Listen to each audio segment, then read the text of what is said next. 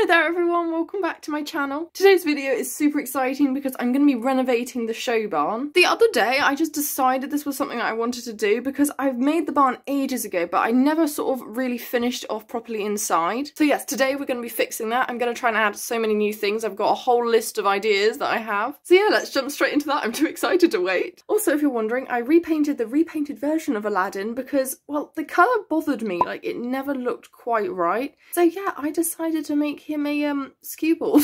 honestly, I'm not sure if it's any better. I think it looks so cool because it's really, really unique. And honestly, I think he just looks so cute. Anyway, let's get on with renovating the show barn. First things first is to pull it out. Oh my goodness, we have a lot of work to do. So this is the current situation with the barn. I've got so much stuff in it because it's the barn I use the least, so I use it to store other things in, such as the cafe. So really anything I do to it at this point will be an improvement. I should probably start with clearing it out. I think that's going to be the most helpful. Out comes the red carpet. Somebody obviously hasn't been taking care of this barn. There's trees growing in the middle of it. Okie dokie. These can come out and the ramp can take whatever this is out. Oh, no, that's definitely not the indoor arena in there. It'd be very small. Somebody's done a very bad job of parking. it's clearly not the car park.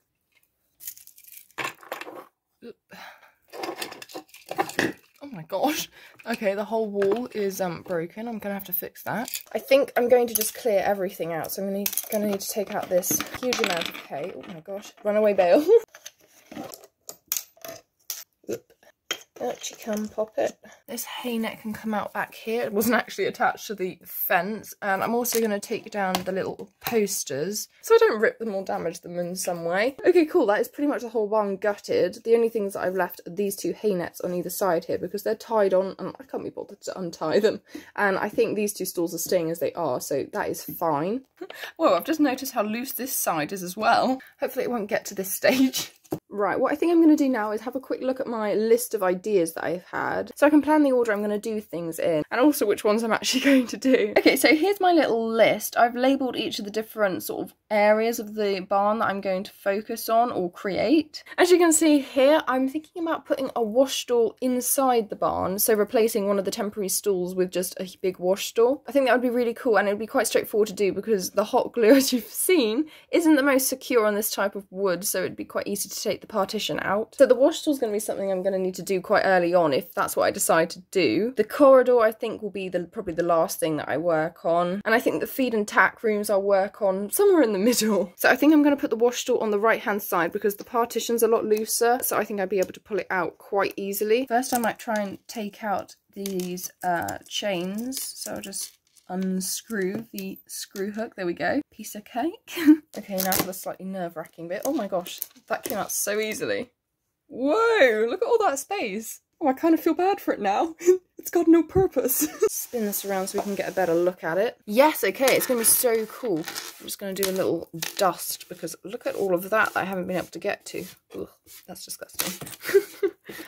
How do you get so dirty? I'm not an actual staple. Just going to peel some of the hot glue off of the back wall here. Right, so now this is pretty much cleared out. The first thing that I'm going to do is paint it. So you know that really cool two-toned effect that you have in wash stalls, like a darker colour at the bottom with a lighter one on top? I think I'm going to do that so it's very clear it's a wash stall. So in that case, I'm going to need to tape off the wall so it's a nice straight line. Right, let me go find some tape. I'll be back in a sec. Okay, so I found some tape. It's not masking tape, but it will work just as well. So yeah, I'm going to start taping off the wall. Oh, I'm so excited. This is to look really cool. Alright, there we go. The tape is on. All I need to do is quickly mix up some colours and then we can get to painting.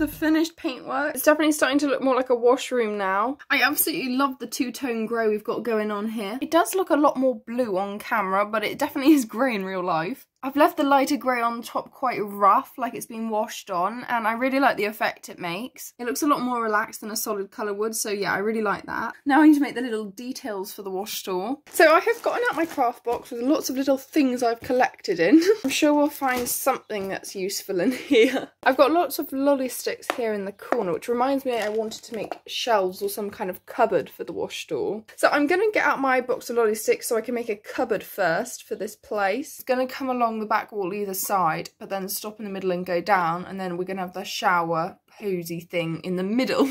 That's some very technical language there. anyway, I'm going to grab my hot glue, scissors and lolly sticks and yeah, we can make a start.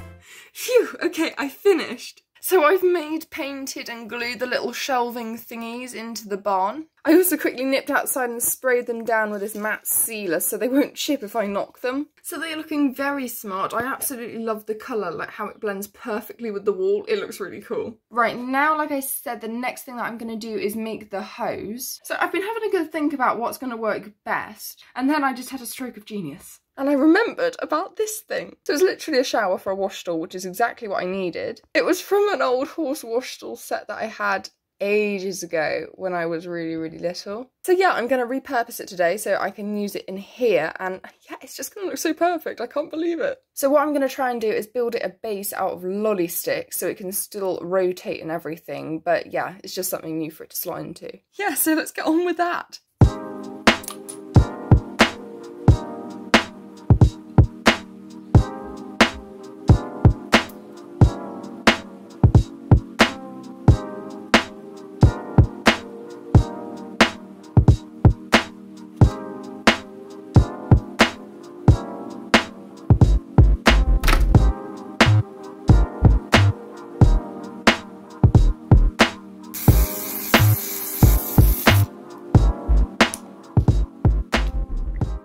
Everybody, the shower is in. It is so cool. We've got various buttons down here for like the on and off switch. We've got the hose up here. I don't know if you can see it, but I also added another little bit of lolly stick back there so the hose pipe itself doesn't like come up. It's physically impossible for it to move that way. So yeah, I'm absolutely chuffed with that bit back there. Now in terms of the floor, I'm not going to paint it or anything, but I wanted rubber matting. And this morning I found the perfect thing. And here it is. It's the little bit of material that comes on the bottom of raspberry packets. It looks literally perfect for this. It's even got the tiny holes in. So I've given it a quick wash to get the raspberries off of it and I'm just going to put it here on the floor. Unfortunately, I've only got one at the moment, so yeah, when I have another packet of raspberries, I'll just add another one in next to it here. Now for the cross ties, I've just bent the original eye hooks inwards, and then I'm going to be using some chain with a little clip hook on the end for the ropes. So this hoop will just clip on there, and then this bit will clip to the head collar. So like this. Now the very final thing I had to do was make all the little details for the wash stall. So I started by making two big mirrors for the back wall. So for the base I used black card which I cut out into a rectangle and then on top of that I stuck some sticky mirror that I had which was perfect and I just stuck those to the wall using Blu Tack in each corner. Then I went and popped two crates into the shelves for storage. Then I went and dug out lots of bottles and jars that I had from old Playmobil sets and yeah just put those on the shelves for shampoo bottles. I think I might eventually get round to making individual labels for each bottle, but yeah, I could be bothered with that right then. Okay, here it is, the finished wash stall. Aladdin's already in it trying it out. I'm so pleased with how it's turned out, it looks brilliant. The shelves are already being put into great use with all the little shampoo bottles we got going on there. I'm sure I'll find lots of other various little bits to add to it over time. But yeah, I'm really pleased with it. It looks so different. And I think it will look even better when I've got another one of these little floor pieces so it can cover the whole thing. Now, just getting the barn to this point where the wash stall is complete has taken way longer than I thought it would. So I think this is going to have to be a series because it has taken me days to get the wash stall looking like this. So yeah, this is the end of episode one. I really hope you enjoyed watching and maybe got some inspiration from this video. Make sure to subscribe to not miss part two and yeah, I'll see you then. I hope you have a great day. Bye!